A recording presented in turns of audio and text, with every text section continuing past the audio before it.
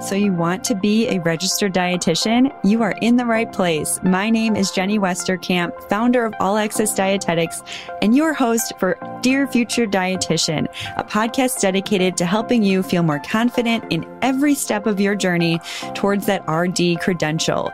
Thank you for being here and taking the time to listen to this episode and investing in yourself and your future career.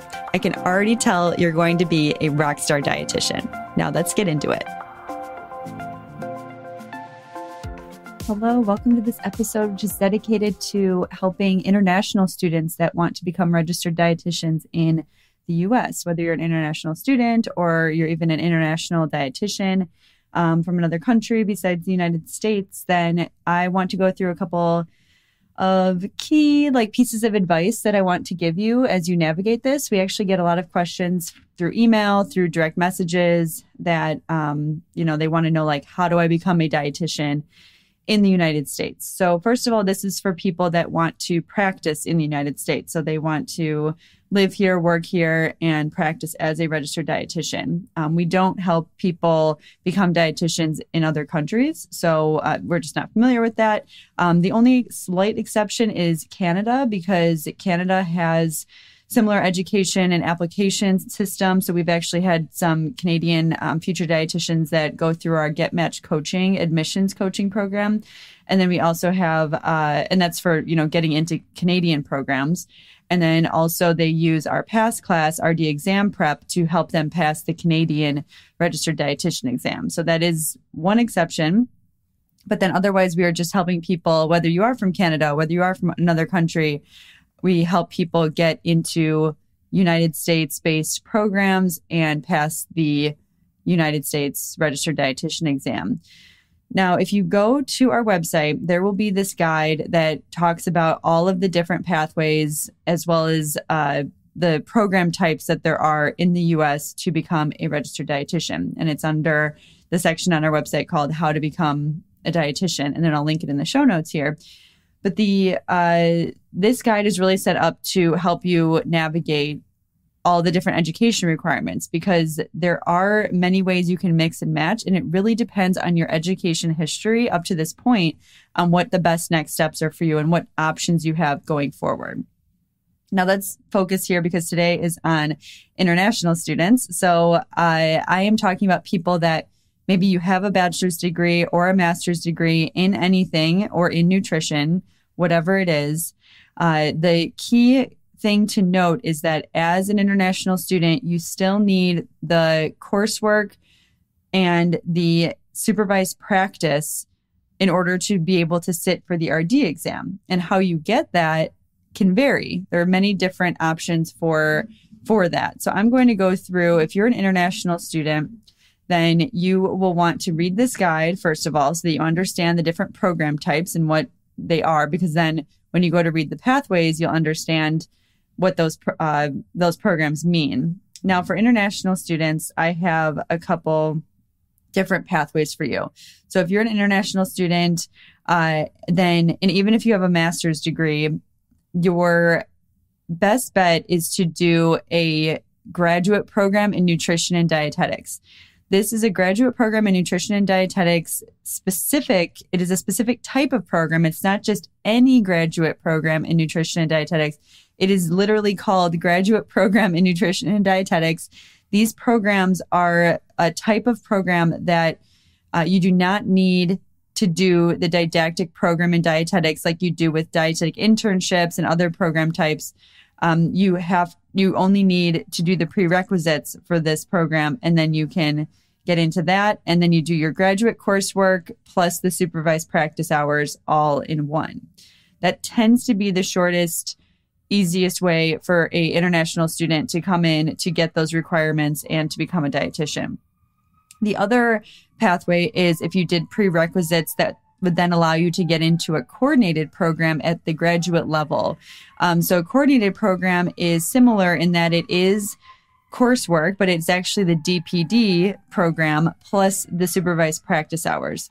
It's a different program type. It has a different accreditation standards, but you know, it doesn't matter. Either one of these pathways is fine for you to do because uh, they both will lead to eligibility to sit for the RD exam. your final pathway, if you are an international student, is to enter into a PhD program. Or if you already have your master's degree and you want to do a PhD, then you can do the PhD and then you can go into what's called an individualized supervised practice pathway. Um, that's an ISPP. And that is going to be just the supervised practice portion um, that you would need to then be eligible to sit for the RD exam. So those are the main three pathways. And it is unfortunate, like if you do have a bachelor's degree and a master's degree, or you're even a dietitian in another country, you still have to go through these requirements in order to become a dietitian and work in the United States. And then you have to pass the RD exam in the United States. You can actually take the RD exam in another country if you're not living here yet, or, you know, if maybe you do online education, then you come here for your supervised practice um, rotations, and then you can take the exam in, you know, another country because the exam centers have international locations, but um, it will be the U.S. exam whenever someone is emailing us and is like, what is my next step? Like, what do I need to do? How do I need, how do I know like what programs I can apply to? I would say you first want to go to our website, look at the how to become a dietitian page. That is going to have this guide that explains all of this. Plus, it's going to have the program directory, which is where you can go to filter. You can download this, this directory, this database, and you can filter by program type you can see all the different graduate programs in nutrition and dietetics. Um, you can go to their websites then and you can see what the prerequisites are. And at this point, once you start to find programs that you would be interested in, whether it's in the US or if they're distance based programs where you can do some of the coursework, you know, in your, in your country, from there, you want to reach out to directors to find out what their what their policy is for international students and how they want you to get your transcripts evaluated. On the Academy of Nutrition and Dietetics website, they do say, um, you know, use this foreign transcript evaluation service and do that right away. But my suggestion is to actually identify the programs first because some programs have specific directions for how you would go about the transcript evaluation and it could be a waste of money if you um, do the do the transcript evaluation through the academy's links and then find out later it's not the same as what the program that you're applying to wants. So definitely talk to the programs. From there then uh, you know getting accepted into a graduate school is typically easier than doing just an internship which is why i didn't put it as a an option because it's easier to get an F1 visa than if you're not a citizen um, to where you can then do graduate school, get that F1 visa, and, and you'll be covered to be living here, you know, in the United States. All right. So that is kind of the summary of how to address being an international student and trying to navigate this. I, I want to repeat here that you will need to get that coursework and the supervised practice in the United States in order to be eligible to sit for the United States exam. And that is even if you are a registered dietitian or a dietitian in another country, or you already have a bachelor's degree in nutrition or master's degree in nutrition in another country. The only exception to that is there are some programs that have equivalency or are accredited and would count towards the requirements, but there's not that many. And so, how you would find out if your school where you went in another country would qualify for that is you would go to the uh, accredited programs directory. So, if you just Google accredited programs directory, I will link it in the show notes too. But it is easier to use on your desktop, like on your computer, than on mobile. So, just know that you should maybe just copy it and email the link to yourself. But um, you go on the accredited programs directory and then there's two filters that you can enter. So you can enter the country which you would just leave blank. You have to choose like the blank option. So it includes all the countries. And then you would go to program type. And from there there's two different foreign um, program types so one is foreign dietitian education program and then the other is international coordinated program in dietetics And between these two, these are ones that are accredited through the ACEND, the Accreditation Council for Education and Nutrition and Dietetics. And so that means that they do meet some requirements and may reduce the requirements you need to become a dietitian in the in the United States. Um, again, accredited programs directory, you're choosing the blank option for countries so that it includes all the countries in the search.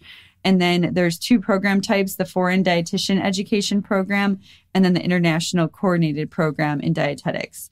Between those two, you can see if maybe what you've already done um, is one of those schools, and then that might change your pathways going forward. But um, overall, I would say the vast majority of, of international students that reach out, it is definitely doing the um, like the most popular pathway is doing prerequisites and then applying for uh, the graduate program in nutrition and dietetics pathway.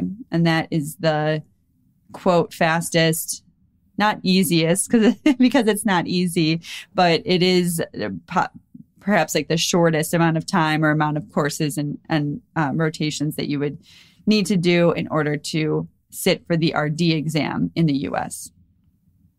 Okay, so I hope that helps. And as a final reminder, so we do help international students navigate all of this. You know, you literally don't have to do anything. You just have to know that you're willing to come to the US to complete your education. You know, you want to move here. We can help you through every step of that process with our Get Matched coaching admissions coaching program. So this program, you are matched with a dietitian coach who is going to guide you through exactly like what I just talked about, but on a personalized level. So one on one attention, phone calls, emails, access to that coach that you will have to guide you through this process. You will be guided on how to do the foreign transcript evaluation, how to identify the programs that will work for you based on your interests and goals and where you want to move, um, or if you want to do up distance plus on site with the rotations and the different program types and how you would navigate even asking directors like what would be uh, what would they need from you or is your your previous education does that count towards anything of what they they currently um, are are requiring?